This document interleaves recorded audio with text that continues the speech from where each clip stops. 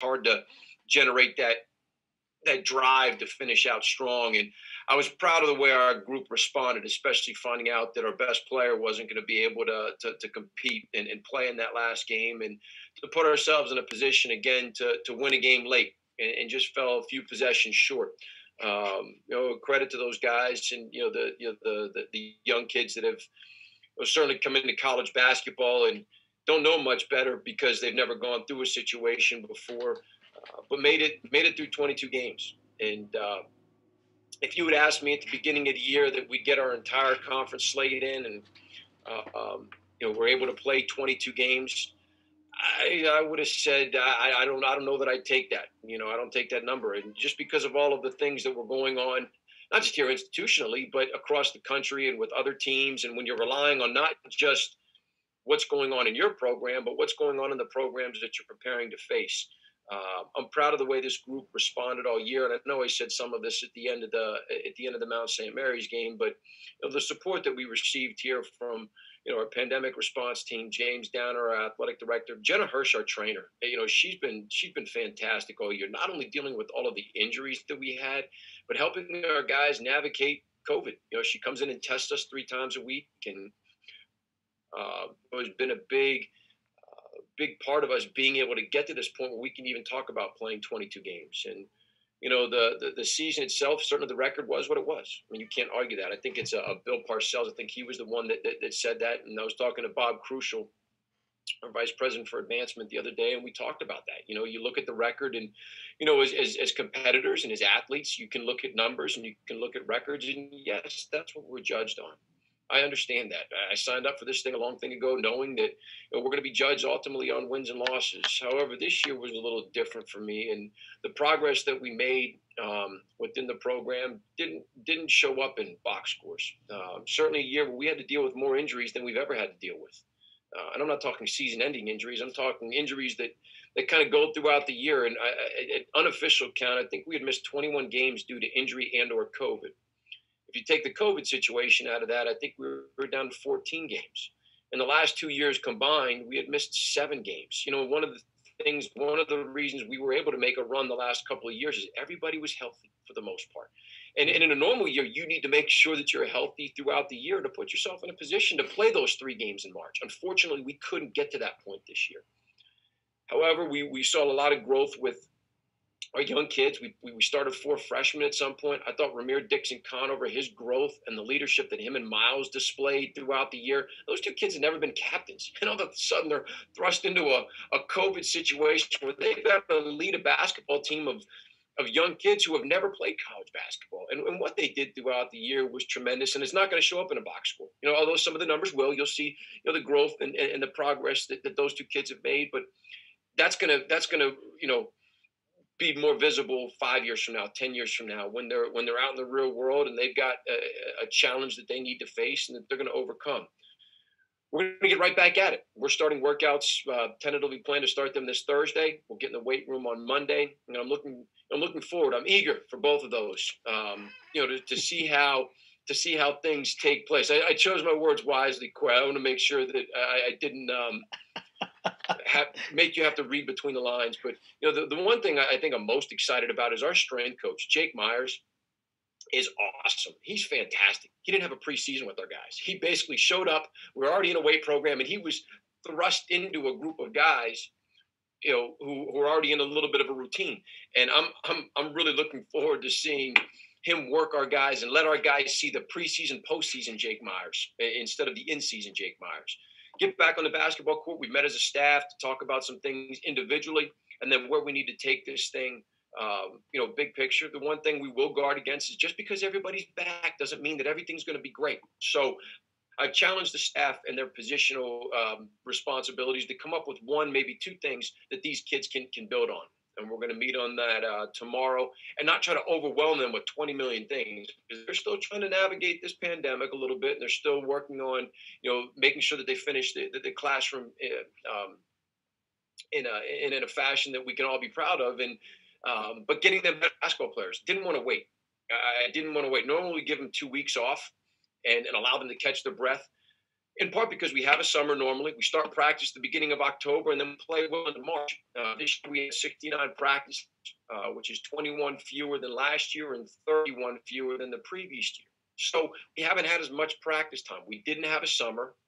And so we're going to get these guys back in the gym and work on getting them to be better basketball players. And they're all eager to do that. And that's that's exciting for me to get back in the gym and see them grow on the court, see them grow in the weight room, and you know continue to push them to be the best version uh, of themselves. You know, it's it's uh, it's an important off season for everybody, but it's an important off season for our guys to know that hey, listen, let's take that next step forward. Let's make sure that we, you know, continue to grow individually and continue to you know move the needle as a program. And we made it through the pandemic. Okay, we made it through a college basketball season with the pandemic. Something you can always say we completed the schedule as we were as we were given, and I'm proud of our group for that. And uh, you know, certainly fell short of uh, of the goals that uh, you know that we always set out to to achieve. However, that year, this year, uh, you know, more than any year, we're going to make sure that we get these guys to embrace the little victories that, that, that, they were able to have throughout the year, not always on the court, but sometimes just in life in general. And um, again, it's been it's been a, a, crazy year, but we made it through. Everybody's healthy. Uh, we had a few kids that did, you know, contract the virus, obviously, like every other part of population, but only mild symptoms. And uh,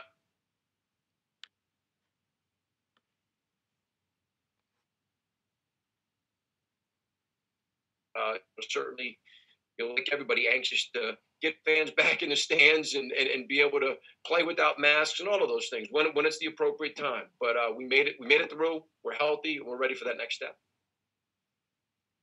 All right, we're going to open it up to questions. Corey looks eager to ask the first question, but it looks like he's frozen. Um, are you okay? Uh, Phil, and then Corey, and then Jordan. Uh, Rob, uh, I asked Miles after after the the Mount St. Mary's game. Uh, similar question I asked you about, you know, if there was any particular area that he thought uh, this team could really improve on, and his answer was discipline, and I, I, took that to mean, you know, understanding things like like time and score, uh, keeping poise when it when the opponent was desperate. Uh, you know, like Mount St. Mary's got at the end of the game, and they threw that press press on at the very end, and got him a couple quick buckets, kind of gave them some life.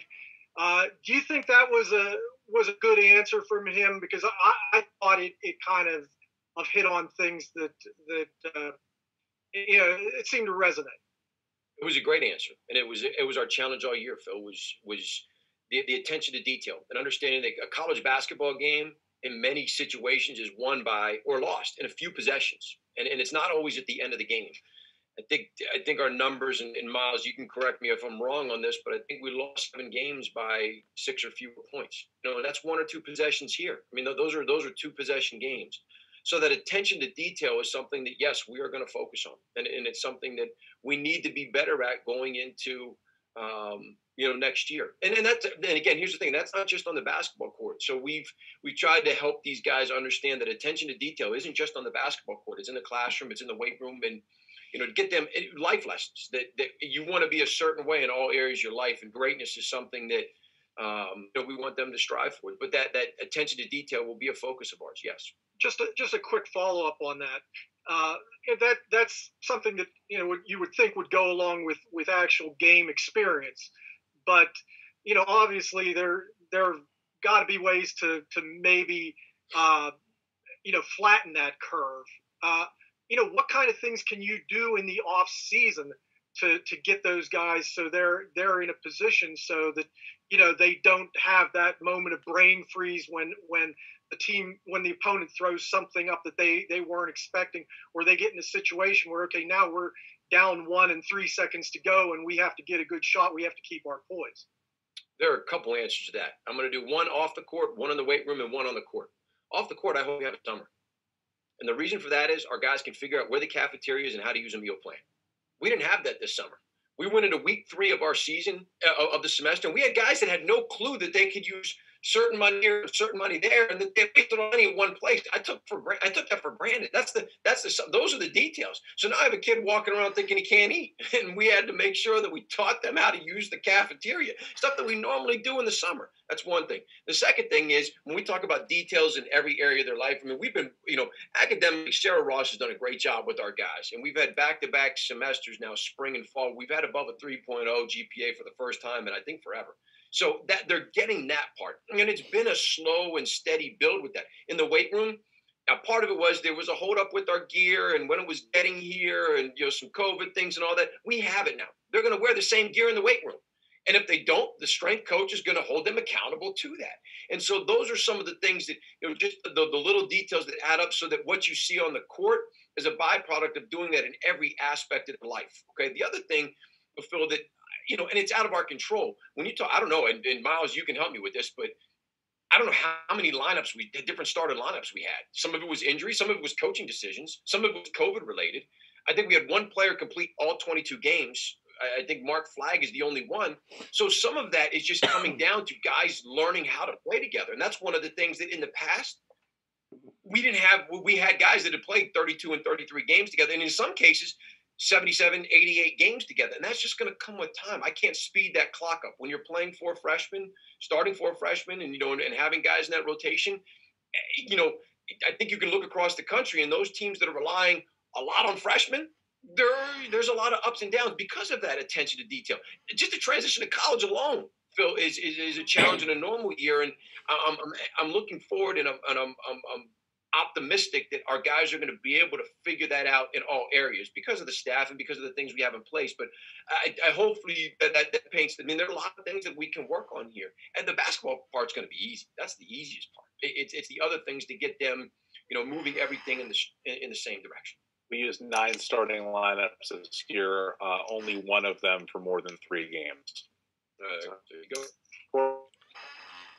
Rob, um, the glass half full is you built a program because your players really improved from year one to year four. Keith and Isaiah certainly foremost, first and foremost. The glasses half empty would say you don't have Keith and, Keith and Isaiah anymore, and those were diamond in the rough recruits that turned into superstars that were really lightly recruited. I just want to ask you if the process that you've built this program with is repeatable Yes, because we have young kids in the program that want to be great. You know, the the what what you know. I go back to Earl Brown, you know, and Ronnie Drinnon and those guys that came before them. that got Keith and Isaiah on that on that trajectory. They want to be great. They want to be coached and have a staff that will do those things. So development will always be at the heart of what we do. And um, the experience that these young kids got this year will help us develop them. Because the good we can obviously continue to help them get good in those areas but the areas that they need to improve it's a lot easier to point to things on film and in game situations than it is in practice.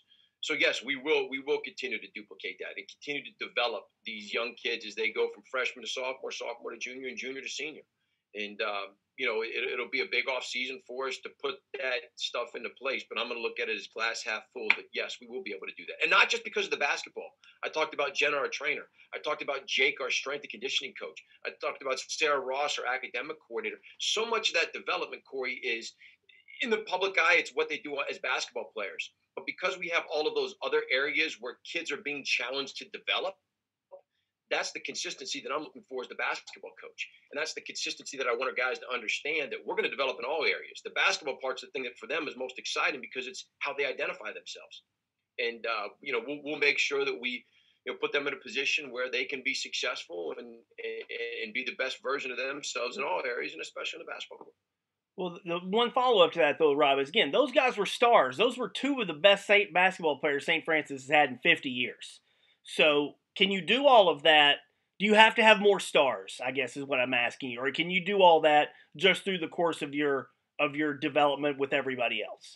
Yeah, I mean, I think when you talk about guys that are once in a generation, yeah, I mean, th- those two guys put themselves. But when you look at Isaiah's trajectory too, I mean, Isaiah was a talented kid, but not really until his year as uh, in into January did he take off. You know, his first go back and look. I think at his numbers, the first uh, part of last year were very up and down. So yes, the final product of both of those two kids and Keith's consistency is again, I mean, uh, his, his numbers speak for themselves but there still was a development in each of those kids. And and you know now maybe it's not going to be two, maybe we have to you know it's it's going to be four guys, and it's a different type of development. Develop more of a team trajectory instead of individual. It's you know th- those are all the challenges that as a coach you look forward to because if every year was the same thing, we get really boring. Now it's a little bit of a different challenge. We have talented kids.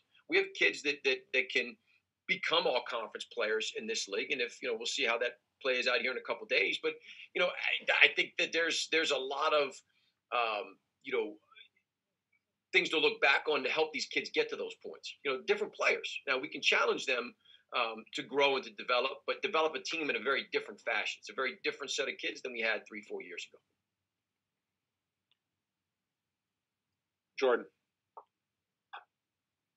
Hey, Rob. Uh, obviously, uh, I'm new here, but uh, going through the coverage uh, uh, from my colleagues here, I, I, this season it seems like you're very vocal about the uh, experience that your student athletes have been going through this year. Obviously, a different season. So, what lessons do you think can be learned through a tough season, a different season like this, that can be moved forward into next year? Obviously, not a season you expected, but something maybe that they can grow on, not only on the court but off the court. I, think two words come to mind: perseverance and, uh, and patience. Um, perseverance is one. These guys persevered through a very difficult season, very difficult situation, both both in basketball and and going through a pandemic. You know, so that ability to persevere and get to the end and get to the end and complete something. They completed 18 games in league play, so that perseverance to stick with it every single day. And of the 69 practices, Jordan, I could probably count on one hand the number of times I really had to get on them about going hard and practicing hard and you know that effort and the attitude. I I don't want to coach that. You know, I want to coach basketball. And for the entire year with all of the stuff that was going on, we were able to coach basketball. You know, now it was some pieces here and some pieces there based on who was in for COVID and who was in for. I mean, that was the, the challenge for us as a coach and for me as a coach. But these guys came to practice every single day, did exactly what we asked them. And that's where the patient comes in. Sometimes in life, you do everything you're told. You do everything right. You do everything you're supposed, as the book tells you to, and the results don't come right away. But that doesn't mean you can't stop doing what is right. And that doesn't mean you can't stop waking up in the morning and trying to be the best version of yourself. It happens at different times for everybody. You know, some people come in and they could be freshman of the year. Some people have to wait their time, you know, wait until they get to be a senior. You know, that, that patience is different for every team. It's different for every player. And so I hope those two things, that perseverance and patience, those two, those two things, and I think they go hand in hand and those are lessons that I mean we all know sitting around the screen that will help you in a lot of different areas. You know, the, the perseverance part, being able to fight through when things aren't going your way, and that patience of being able to do what is right, even though the results aren't immediate. Easier said than done for a group that pays attention to these things and sees everybody's stats and you know eh, you, you want to be able to teach that patience. I think the last thing, Jordan, is thankfulness. You know, when you talk about being able to be where these kids are, and they're, act, they're actually competing. There are kids in the, across the country that didn't get to play basketball this year. There's some high school kids and there's some some college kids that didn't get to experience a season. And so that ability to be thankful for, for, for, a couple things, the opportunity to play and for the work that goes in from the people that, you know, that, that allow these kids to go and play basketball. And that's those are three things that they can take with them into life. If you live a thankful life, you're going to be okay because there are going to be a lot of tough times. But if you can if you can keep perspective on what you're thankful for, it, it can help you get through those tough times, along with the patience and the perseverance. Oh, Rob, uh, going back to the roster, uh, you say have everybody back. You said uh, you said on uh, Friday night that you uh, will have 13 scholarship players uh, on the roster next year. just to just to be clear, is is there no one that you is there no turnover that you expect with this roster? Do you expect the same 13 guys on scholarship? Do we have anyone that's that's in the transfer portal, or you accept or you expect to be in the transfer portal? Uh, will there be no new scholarship freshmen or transfers on the team next year? As we sit on March 1st, the 13 scholarship guys that we have in the program right now will be in the program next year. Now, we're, we're not even a week removed from our season you know, so it, we're going to get back on the court and, you know, have conversations with these guys, talk to them. We all know that the big elephant in the room is transfers. And we've been very fortunate to, to, to not be in that situation. Um, I'm not naive enough to think that it's never going to happen. At the same time, you know, St. Francis is a special place. You know, when you look at our two seniors electing to come back for their fifth year, I think it speaks volume for those young kids. You know, that, hey, listen, this is a special place. And this point, 13 scholarships that we have right now will be back next year, and there will be no new additions to the program from a scholarship standpoint. How will you address it then if, if someone does enter the portal? Are you do you still do you still have to be out there? I mean, will you be looking at the portal to take someone to replace them? Would you go with a, a smaller roster? Are there guys that are at the high school level that you still have to be in touch with just in case? Uh, we, I mean, the recruiting is year round. We haven't been able to go out and recruit physically since last March 13th, and that was extended again through the end of May. So we're not going to be able to do that. We can't even bring kids to campus, Phil. I mean, it's a dead period, so we're not not even allowed to have kids come to our campus. And um, you can watch kids on the phone, you can do all that, but the challenge is obviously getting them to campus. And and we always have to recruit. You have to you have to keep your you have to be prepared for everything because if you don't, and then things happen, you're going to be recruiting out of desperation. You know, and we, we try to recruit out of preparation and, and make sure that we know where guys are. We make sure we know um, you know our needs and and uh, Portal High School. I you know we'd have to address that you know if and when something like that would happen. But it, we keep all of our doors open, keep all of our options open. We you know we recruit um, you know uh, whether it be the class of 21 or the class of 22. I mean you've got to be prepared uh, you know for all of those circumstances. My, you know, where we are today, we won't have to worry about any of that. We just concentrate on the guys that are in our program and make them better. Corey has the dead period um, provided extreme challenges for you, Rob? You're a school, you've said it many times.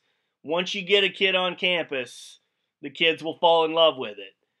But if kids can't go to campus and then they see a 6 and 20 record, what is what are the challenges now of, of, of recruiting and selling a pro, selling the program in the school? Yeah, I mean at this point I mean, one one season, obviously. I mean, I, I hope that the work that we've done, uh, you know, in previous years can give an indication of what type of program and what kind, what type of basketball player can can come out of St. Francis. The challenge becomes Loretto, Pennsylvania. It's not like you know a, a kid can just up and come up to our campus as if we were in Philadelphia. So you you could say, oh, you know, I'm gonna go take it to school, but you end up driving around campus and check it out. And there's an element they can do that here, but they can't meet with me face to face. We can't take them into our locker room, so that becomes the challenge. The hard part isn't, you know, we can Zoom all we want. You know, you can talk to a kid all you want. You can watch all the film you want. And, and some of these kids we've already seen live in previous years as, as we tried to build our, our, our, our recruiting base. But the, the hard part is just getting them to campus. It just and then think about as a parent, like I, I would not want to just send my kid off without seeing the school or meeting the people. That's hard. I mean, that, that's that's a challenge, and that that that becomes the biggest the biggest recruiting hurdle is allowing kids to come to our campus to to see the things that that that are special. You know, you, you can talk about, and I, and I worked used to. Uh, it's an old saying, like you talk about. Uh, I can't remember who used this, but it's like saying, "Hey, listen, we got a really good steakhouse." hey, you got to try the steak. You got to try the steak. Well, you either take my word for it, you can go to the steakhouse and find out that the steak's really good, but until you eat the steak, you really don't know how good it is. And, and that's kind of how it is from a recruiting standpoint. You don't know how special the place is until you get up here. Uh, Corey, are you good? Um, I'm good. Yep. Okay, so you're in. Uh, Phil, Jordan, anything else? I'm good. I'm good. All right, guys.